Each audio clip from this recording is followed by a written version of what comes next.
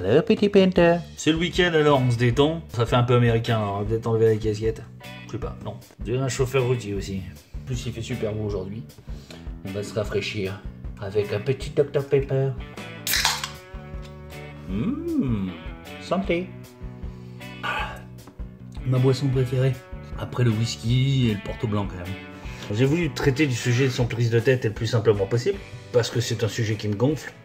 Je rigole. Mais manque de bol, j'ai pas réussi à compresser mes informations, mes connaissances en deux minutes. Du coup, j'ai fait euh, une vidéo de 4h23. Le premier épisode, celui que tu vas regarder maintenant. On va faire simple et rappeler quelques bases. Il y a trois types de couleurs, les chaudes, les froides, les neutres. Tu es plutôt chaude ou plutôt froide? C'est important. Les chaudes, comme le jaune, le rouge, le orange, dynamisent un espace. On aurait tendance à les mettre dans des lieux où on a envie de faire de l'activité, une salle de sport par exemple. Elles sont utiles pour créer une ambiance confortable, stimulante, voire excitante. Les couleurs froides, comme le bleu, le violet, qui vont avoir tendance à calmer. On pourrait ainsi les utiliser dans des lieux de réflexion, euh, bibliothèque, euh, WC, ou de repos comme une chambre. Plus souvent, on utilise ce genre de couleurs pour les espaces réduits. Et puis ensuite, il y a les neutres, comme le blanc, le gris, le brun. Le neutre, c'est la roue de secours de tous les décorateurs. C'est simple, ça s'accorde avec tout. En passant, le blanc est la couleur qui s'accommode aussi bien avec l'ancien que des meubles euh, nouveaux, des meubles euh, récents, modernes. T'auras le choix, tu vois. On a tendance à dire que ça fait un peu hôpital, mais c'est pas faux, puisque le blanc aspire à l'hygiène et la propreté.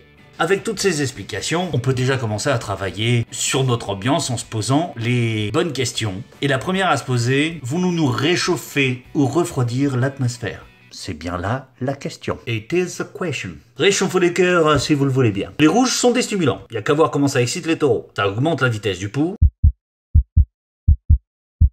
Oh, je suis pas bien. Ça stimule l'appétit et les passions et apporte la joie dans la chaumière. Le rouge sera la couleur idéale pour les restaurants, les salles à manger, les bars à putes. Les oranges, ils provoquent une sensation de chaleur. Pas aussi intime que le rouge, mais accueillant quand même. Le jaune est idéal dans les salons, car il créera une ambiance excitante tout en étant beaucoup plus vibrant que le orange. C'est donc la teinte idéale pour une chambre d'enfant, par exemple. Refroidissons les âmes sensibles. Et c'est surprenant comme le cinéma a su utiliser ces codes de couleurs.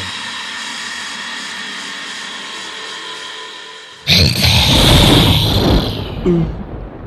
Ouais Je sais pourquoi. Les bleus calment les nerfs, mais trop foncés apportent de la mélancolie. Moi aussi je trouve ça con. Bon, enfin, c'est comme ça.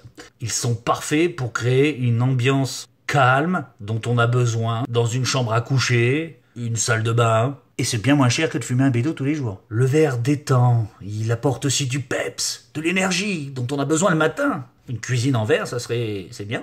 Les salles à manger, le sol de bain et d'autres pièces de la maison. Le violet, quant à lui, euh, peut être utilisé dans les chambres, à condition qu'il ne soit pas utilisé tout seul. On peut l'accorder avec du blanc par exemple, car le violet reste une couleur triste, et ma foi fait un peu vieux. Le choix de sa teinte. Alors c'est vrai qu'on choisit souvent euh, nos teintes par préférence, par goût, et pas par calcul. Merde, j'ai fait une tâche. Ah le porc. Qui ne l'a pas fait, ça va. Que souvent on prend pour thème, pour départ de recherche, un rideau, un drap, la couleur du sol, pour réaliser nos teintes. Et que finalement, les règles sont faites aussi pour être transgressées. C'est ce qu'on appelle le transgenre. Non, je rigole. Rappelez-vous d'une chose, la déco que vous faites vous ressemble. Et c'est bien quand on y habite, et quand on est censé rester longtemps dans sa maison. Mais pour vendre, oubliez vos goûts. C'est pas qu'ils soient à chier, quoique le vert et le bleu c'est pas terrible. C'est juste que les goûts et les couleurs, tout le monde connaît cet adage. Pour la vente, on part tout de suite sur quelque chose de neutre, du blanc partout. On cherche pas de compromis. C'est pas pour vous, c'est pour le futur acquéreur. Alors si tu veux vendre rapidement, fais-moi confiance. Pose-toi LA question qui tue. Quel style tu veux créer? Ambiance urbaine Béton gris euh, Décor de rue Moderne euh, Style loft avec des paillettes Contemporain euh, Pas le classique, attention. Parce que classique, voire terroir, on est dans la terre, dans la chaux, etc. Une fois le style choisi, bah forcément le choix des teintes devrait être un peu plus simple. Les colorants, mais pas trop. La peinture est teintée à l'aide de colorants, qui ont un second rôle important puisqu'ils opacifient la peinture. Plus on est dans le clair, le jaune, le orange, plus il fera de couches pour avoir un rendu impeccable, ce qui n'est pas le cas pour un marron moyen par exemple. En deux pas, ce sera parfaitement opaque. Autre chose, plus la teinte est foncée, plus la peinture mettra du temps à sécher. D'ailleurs, une peinture à base blanche a son taux maximum de colorant à ne pas dépasser. Genre 15-20%. Autrement, la peinture devient inséchable. C'est pas français, mais c'est joli. C'est pour ça que les fabricants, pour pallier à ce problème-là, ont inventé la base transparente. TR pour les pros. C'est une base qui permet de faire des teintes très foncées. La teinte repousse les murs. Et c'est pas faux. Le blanc agrandit une pièce tandis que les couleurs sombres ont tendance à les réduire. Le blanc fait refléter la lumière tandis que le sombre l'absorbe. C'est pour cette raison que les cinémas ont des décors sombres et que les hôpitaux sont si blancs. On jouera souvent dans une chambre, pas avec des jouets, hein, parle avec les, les teintes, avec une tête de lit colorée par exemple, et le reste des murs d'une autre teinte plus claire. Mais attention dans les pièces particulières. Ce qui est possible dans une pièce carrée devient plus compliqué dans une pièce longitudinale. Un couloir par exemple. Si au bout du couloir tu mets une couleur claire et que les deux murs les plus longs tu les mets foncés, personne n'empruntera ce couloir. Le couloir de la mort. The Dead Corridor. Voilà comment tes enfants l'appelleront. Il y a en effet un visuel indéniable, un jeu d'effets euh, visuels, un effet étau, étouffant, qui devient assez désagréable. Alors quand c'est voulu, ok, mais on pas notre appartement pour que ça devienne euh, le plateau du prochain film de Ridley Scott. Hein. Dans une chambre, l'utilisation de la teinte plus sombre peut apporter un sentiment d'intimité.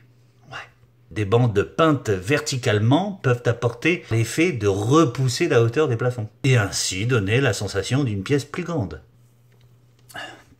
Ça se conserve pas longtemps. Pour vous aider dans le choix, il existe de nombreux livres, des revues, des magazines. Ça donne des envies, des idées. Alors ok. Mais pour celles et ceux qui veulent se débrouiller tout seuls, il existe la petite rue chromatique. C'est un excellent outil afin d'harmoniser une teinte avec une autre. Ça coûte pas trop cher. 20 balles, à peu près. Autrement, il y a ce bon vieux nuancier. Et non pas échéancier, comme j'ai déjà entendu. Et là, je vous mets en garde. Le nuancier est propre à chaque fabricant. Certains sont d'une justesse simplement incroyable, et d'autres ont des petites erreurs. Et quand on peint une cinquantaine de chantiers par an, comme moi, on s'en rend vite compte. Prenons par exemple Innova. Ils sont fabricants dans le sud de la France. Je n'ai pas d'action chez eux, je les aime bien. C'est un exemple. Ils ont un nuancier d'une justesse simplement inégalée, que je n'ai jamais vu. Alors voici quelques photos de chantier. Avec la vignette du nuancier en question. Un morceau de papier peint avec la teinte de la vignette, et le rendu final chez le client. Qu'est-ce qu'on voit? Eh bien rien. Tout est parfaitement similaire. Je crois que c'est la première fois que je vois autant de justesse chez un fabricant. Prenons une peinture acrylique. Pour le choix de la teinte, à l'aide d'un nuancier, l'impression générale sur un mur complet rendra la teinte choisie un poil plus foncée. C'est un sentiment, la teinte est inchangée, puisque je t'ai affirmé tout à l'heure que le nuancier de chez Innova, par exemple, était euh, d'une euh, précision incroyable. Mais c'est l'effet ressenti quand on passe de la petite vignette un mur de 10 mètres carrés. Autre chose, afin de choisir la meilleure teinte, regarde le nuancier quand tu peux à plusieurs heures de la journée. Car en effet, des nuances peuvent apparaître selon le moment de la journée. Fais le test, mais de préférence avec la lumière naturelle, et évite de choisir ta teinte le soir, ou dans le noir. C'est encore plus con. Non, franchement, euh, c'est chaleureux, c'est saumonné. Ah oui, j'aime. Hein. Tu peux regarder aussi la teinte à l'extérieur, mais si ce n'est pas les murs de la façade que tu vas peindre, ça ne sert à rien. Pense à l'exposition de tes pièces. Une chambre plein sud sera naturellement plus lumineuse que la pièce plein nord, et ça peut changer ton choix dans la teinte finale. Est préférable pour les pièces exposées plein sud, surexposées à la lumière, de choisir des teintes froides, et inversement pour les pièces sous-exposées. Mat, velours, satiné, ça change presque tout. Oui, une satinée va faire briller la teinte, et sa réverbération naturelle rendra la teinte encore plus claire alors qu'un mat, voire un velours, en absorbant la lumière, ne rendra pas du tout le même effet. Ils donneront un aspect plus chaleureux, plus cocooning à ta pièce. C'est la difficulté de se projeter. Sache un dernier point, et ils sont de plus en plus rares, mais chez un fournisseur pro, il y a souvent un spécialiste unique de la couleur. On appelle ça un coloriste. Ils sont pas fait chier pour le nom. Lui, il est capable, en partant de rien, de trouver la teinte qu'il te faut, d'une teinte faussée de la rectifier. C'est un magicien de la couleur. Mais avec toutes ces années, je n'en ai croisé qu'un seul.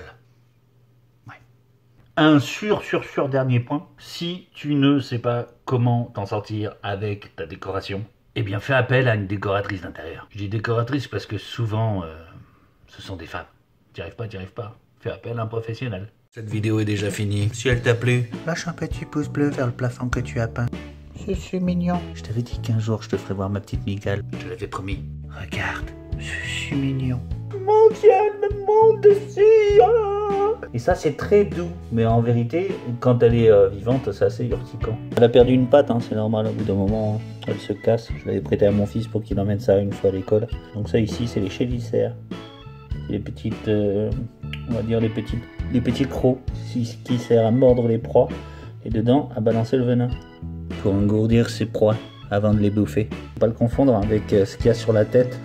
Là, la tête euh, a un peu disparu, elle a un peu éclaté puisqu'il est parti, il est sorti par là. À pas confondre avec les crochets qui est au-dessus de la tête, qui servent d'organes reproducteurs. Ouais, c'est pas la même chose. Le gonopode des, araignées, ce qu'on appelle un pédipalpe. Il n'y a pas de piqûre d'araignée en fait, ça n'existe pas. Elle mord. Et, et en France, bien sûr, il n'y a pas de migale comme ça. En général, ce ne sont pas des, ce sont pas des morsures mortelles, à 99% des cas. Parce qu'en fait, c'est pas assez, le venin est pas assez puissant pour l'homme, quoi. C'est juste pour les, pour leur proie, parce que ça peut bouffer les petites souris, des petits oi- oisillons. La femelle, ça vit à peu près 20 ans, alors que le mâle, ça vit à peine 5 ans. Et il mue pour pouvoir grandir. Elle est belle, hein, je t'avais dit que j'allais te faire voir un jour ma. Très long, hein. Très très long. Putain, c'est un colorant. euh, c'est de la merde de pigeon que t'as balancé là. Hein C'est. Ah, si, il y a un pigeon qui. Il y a un truc qui presse. un truc là. Ah putain, voilà, il saigne. Il y a un truc qui presse les pigeons dans ta machine. il prend un pigeon vivant. Il vient et. Ciao